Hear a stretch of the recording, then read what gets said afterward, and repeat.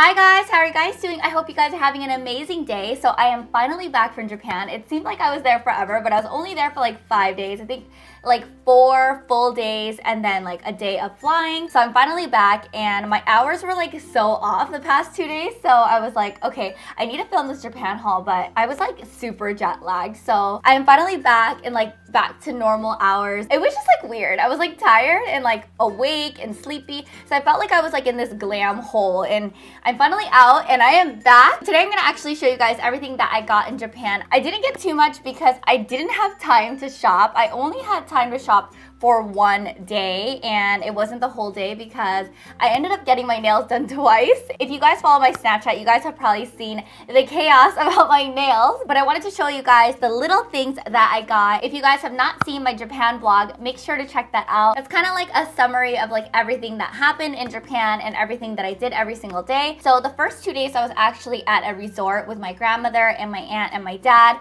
and we kind of just did like a little vacation so I didn't really get to shop there. I, my dad and I picked out a bunch of goodies for my mom there, which was more like food and like just little like ancient Japanese historical things. But when I got back to the city is when I actually got to go shopping. So the very first item I'm going to show you guys is actually from Chanel. I, I believe it was inside of a department store in Yokohama. So my father and mother are both from Japan. My mom is from Tokyo, the city, and my dad is from Yokohama, which is another city. It's like a neighboring city. It's like by the port. So my dad and I were visiting my grandma and we ended up going shopping on the last day and my dad got me something from Chanel and I didn't know he was gonna do that. I was like totally putting down my credit card. I was like, oh, just get these. And he was like, no, I'll get it. And I was like, oh my gosh, really? Like, my dad has gotten me so many huge things in my life, like when I graduated high school and just like throughout my whole life, like college, like whatever. I just didn't expect him to get this for me, but this is sentimental to me because I went on the trip with him and I think he just really wanted to get me something that he knew that I would like because I'm like,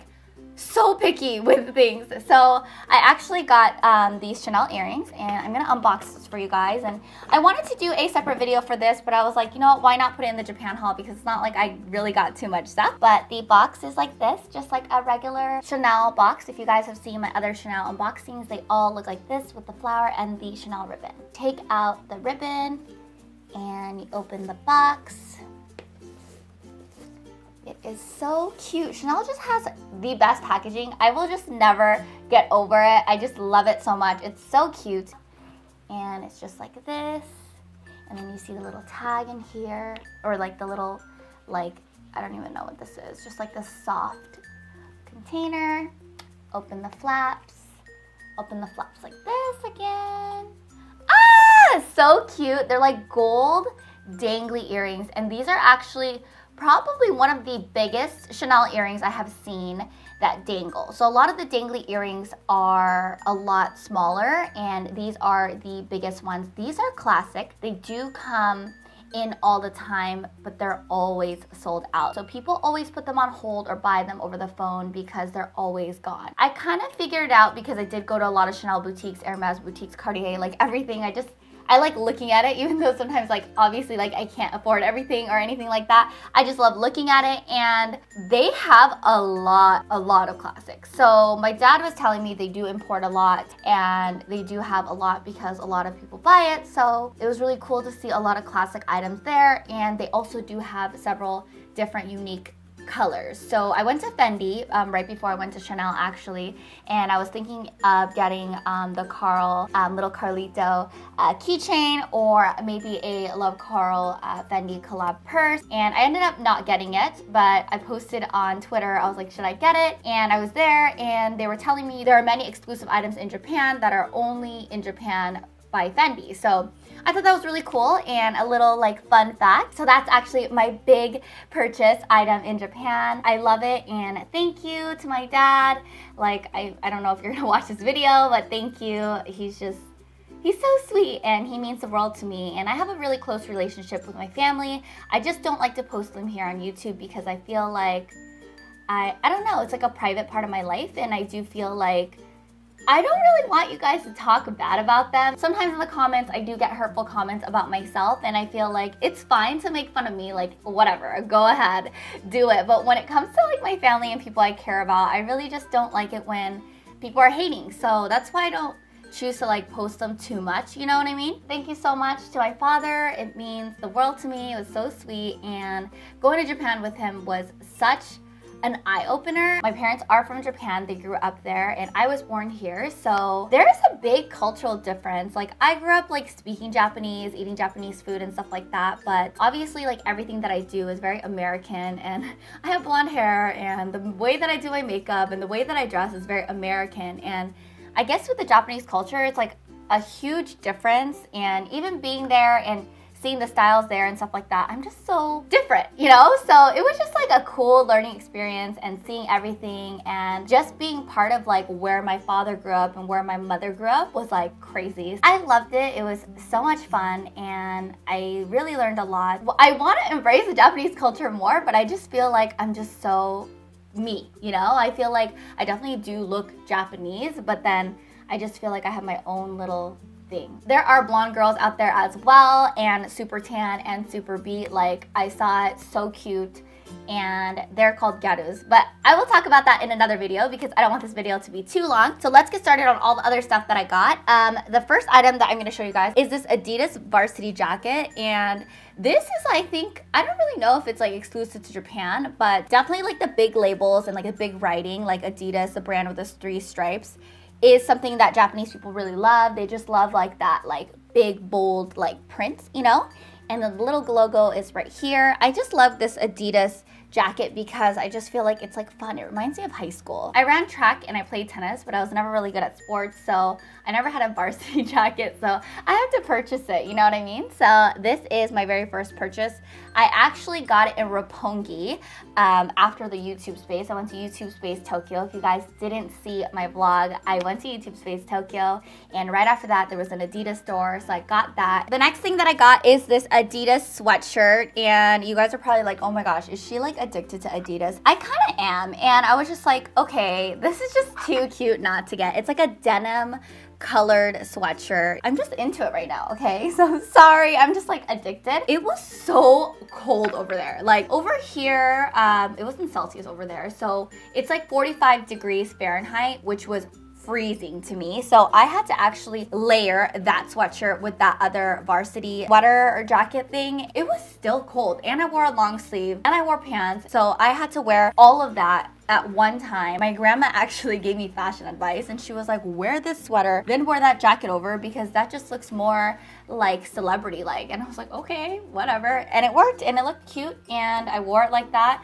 um, for the first day. And then the next day, it got so hot. So I was wearing that that morning. And then I went to the Shibuya 109 department store and I was like, okay, I'm gonna get girly Japanese things just because every time I go there, I get like shorts and like tops and dresses and rompers and things like that. And I ended up getting an Adidas crop.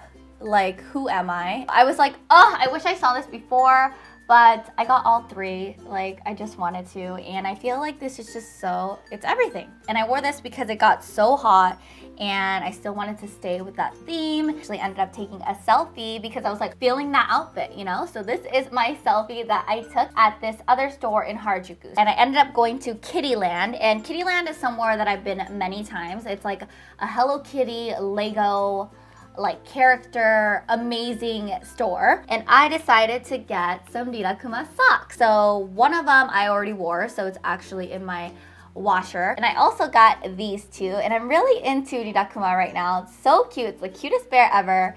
And these are the socks that I got. I love them so much. Um, my grandma and my dad were like, oh my gosh, they're so kiddish. But, you know, I just love characters. I think that's like my Japanese side. I love characters and I love cute things. I decided to get some Rilakkuma socks. And then there was a beauty store in Harajuku and I decided to pick up my favorite glue. I got several of these because you guys know I am addicted to this eyelash glue. And guess what they have? So this is gentei, that means limited edition. And they had my favorite glue in Hello Kitty. So it's a full Hello Kitty DUP eyelash fixer Plus or EX collab. Like, oh, heaven. Like, this is everything right now. So I got this glue and I was like, oh my gosh, I can't believe they're doing a collab right now. And it's like my favorite glue ever. I don't even know if I want to use it because it's so pretty and I feel like it's just going to run out and I'm just gonna be sad. So I got several of them and this is it. So cute. It's everything right now And here they sell it for like 13 $14. In there it's 900 yen, which is about $9. So ah, so cute. So the next things that I got, oh my gosh, it's like a link to my phone. So I actually got a phone case, a My Melody phone case. I got this at an electronics store in Japan. I don't remember what it was called. It was a camera store.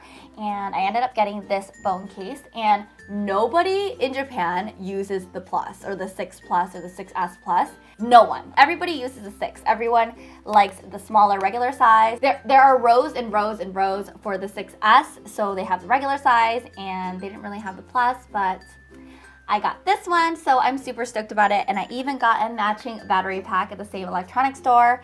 And the cool thing about this is obviously like it charges. It doesn't really run out a lot. Like all the other ones that I've had like runs out really fast, the, the charge. And it has two USB ports.